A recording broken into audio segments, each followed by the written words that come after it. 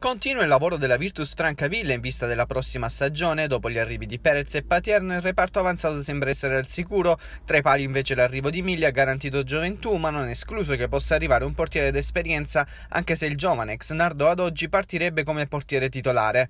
Ora il nodo più importante da sciogliere è quello relativo alla difesa, dove l'unica certezza è quella di Alessandro Caporale. Si complica sempre di più l'ipotesi di un ritorno in biancazzurro di Riccardo Ida. Sul difensore infatti ci sono diversi club di Serie B e in ogni caso caso il suo ingaggio ad oggi risulterebbe essere troppo oneroso.